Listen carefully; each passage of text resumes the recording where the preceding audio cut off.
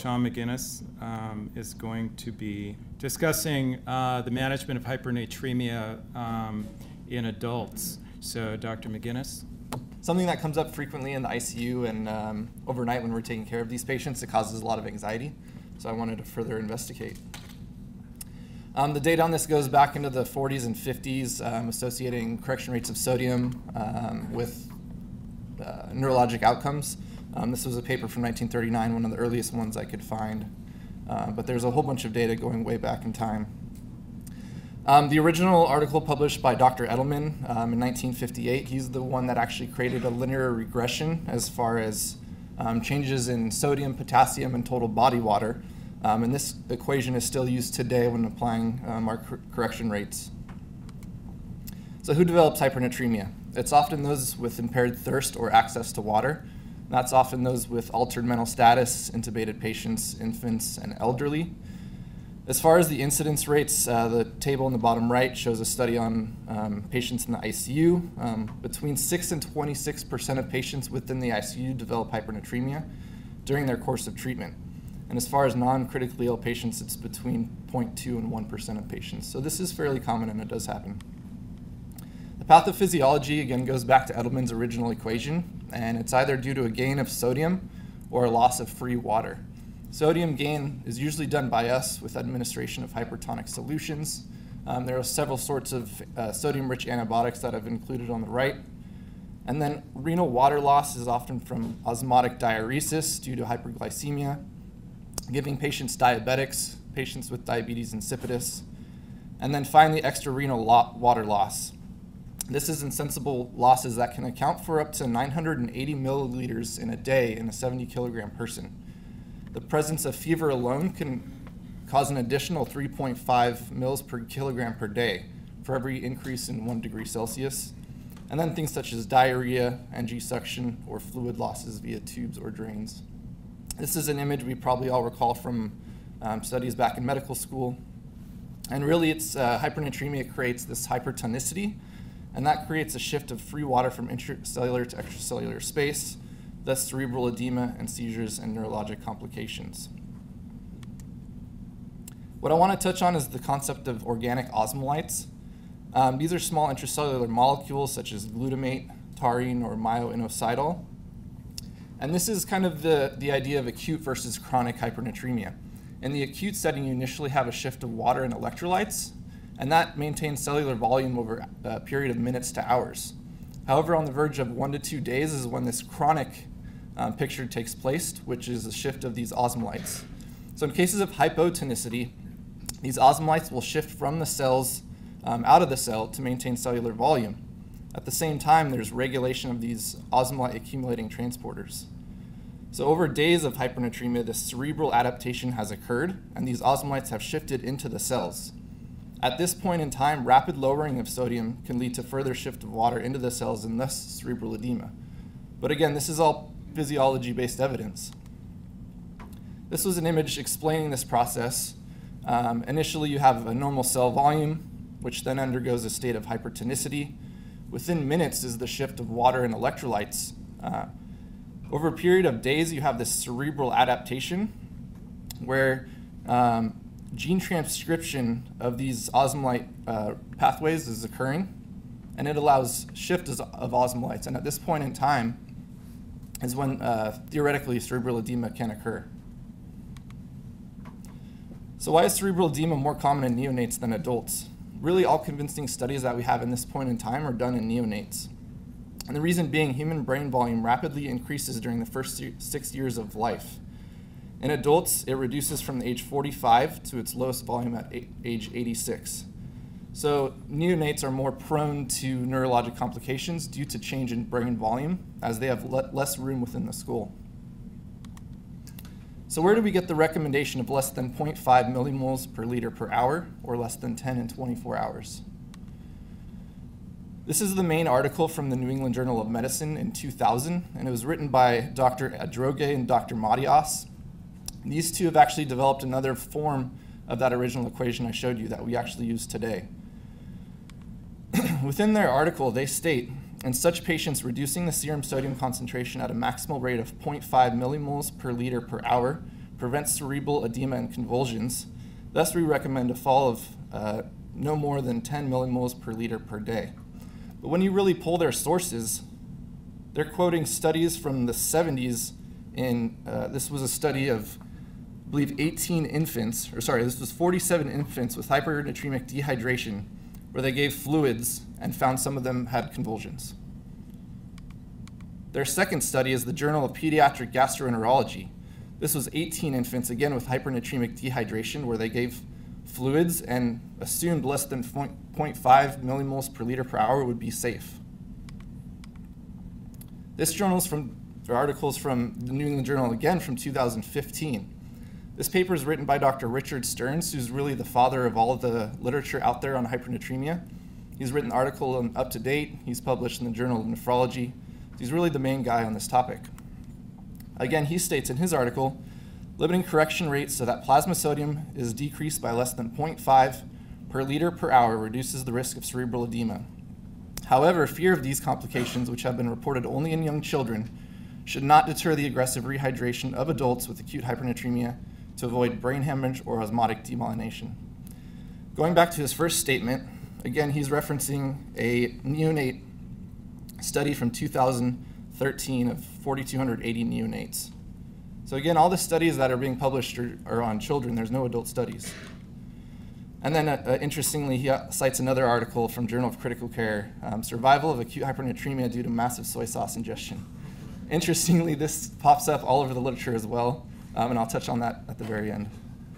Um, final is Journal of Critical Care, where they discuss the topic.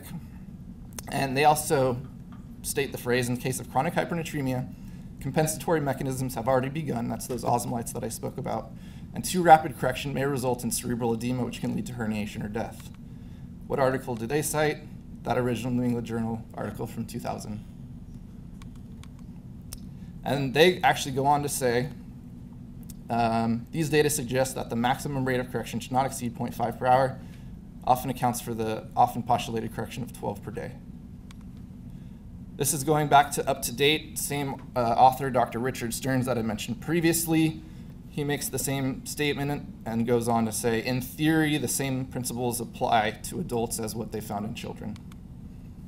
So the New England Journal article on the far right, they do discuss limit of correction and management of overcorrection. In minutes to hours, they say excessive correction is not known to be harmful. Same statement in uh, one to two days, and then they only make this reference to children.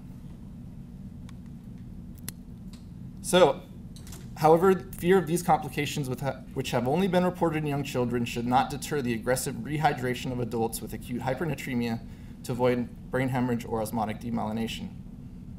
And then th this article states, in contrast to hyponatremia, there is little risk of overcorrection in patients with hypernatremia, and adults with hypernatremia are often undertreated.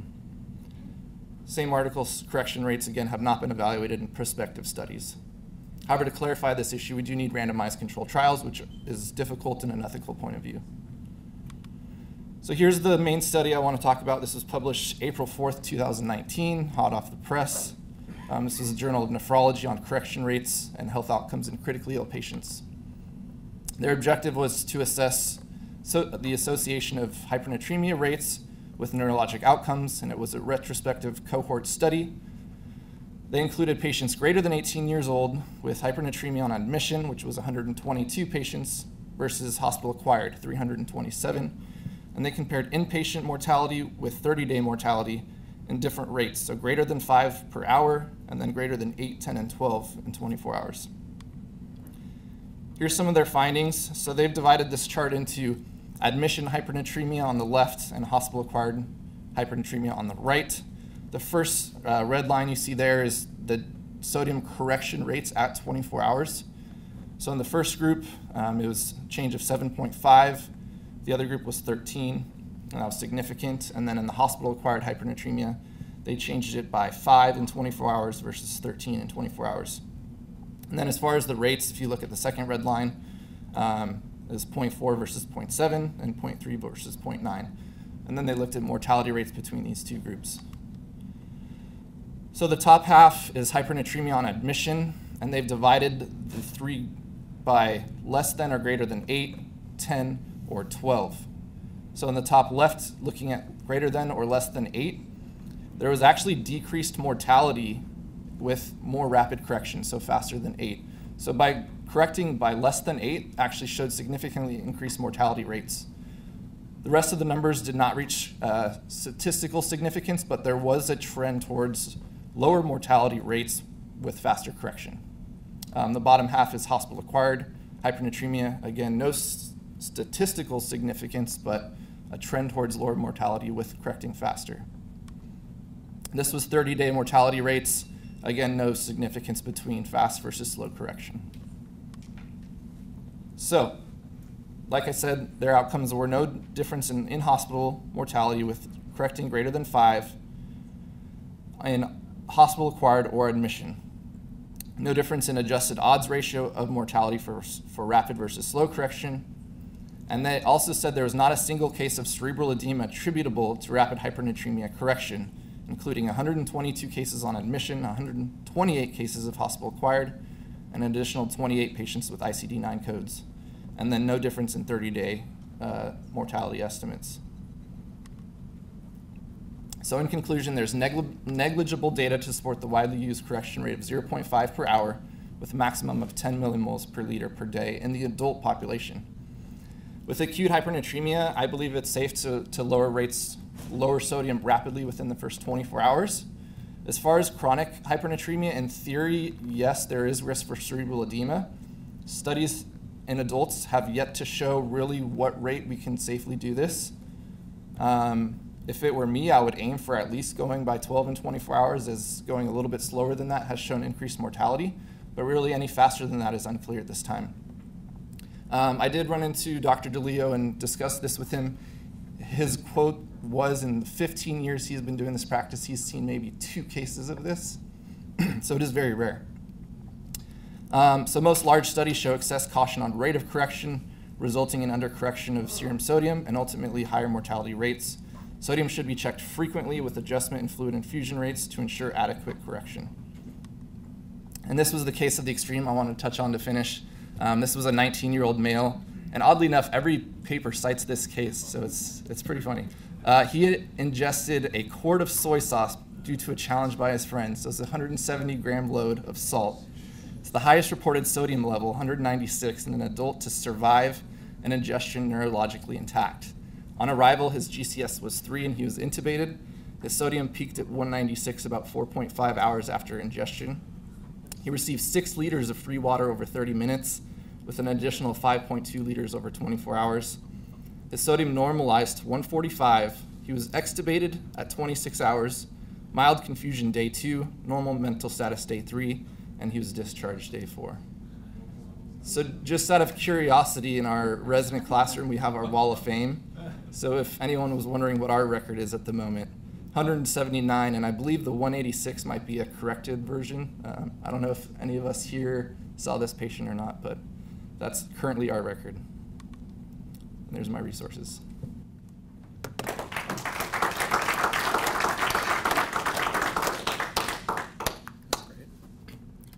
All right, comments. Uh, Thaddeus Bordowski from Santa Barbara. Um, in, in that most recent study uh, that you talked about, where patients whose uh, sodium corrected quickly had reduced mortality, did they receive different amounts of fluids? Is it did they, you know, for that variable, like patients who had ongoing diarrhea may have been sicker and their sodium uh, wouldn't correct with the usual uh, treatment. Often we have hypernatremia and they get some D5W, but the sodium is the same the next day and it may just delay patients with ongoing fluid losses. Did they look at there were difference in the amount of free water they received? I don't recall the type of fluids they used. Um, what they did do is try to correct for um, other medical issues that they had using Apache scores to try to eliminate um, mortality rates of other reasons. So I don't know what kind of fluids they did use though. Um, I do want to mention currently the SALSA trial is underway in Korea. It is the first randomized controlled trial in correction rates of sodium. It has not been done before. It was started in 2017, so it should be out shortly, and that might be another Mythbusters in the future. That, was great. Um, so the difference, people who who presented with acute hypernatremia, or not acute, but from the outside world to the hospital, and got rapidly corrected had a better survival rate if they were corrected quickly, versus the ones who developed hypernatremia in the hospital didn't seem to show that benefit. Is that how I interpret that? Because it seems like um, that might suggest that it's safer to be outside the hospital. well, I think what they were, yeah. Um, what's interesting is this is basically saying acute versus chronic. If it's developed in the hospital, it's acute hypernatremia because we've seen it happen. If they're hypernatremic on admission, it's chronic. We would think chronic hypernatremia is more dangerous because correcting it rapidly can lead to cerebral edema. In this study, the hypernatremia on admission in less than or greater than 8 was the only one that reached significance. So it's interesting that a chronic case had better improved mortality with faster correction. I wouldn't have thought it would be the other way around. Um, but maybe it, yeah, I don't know.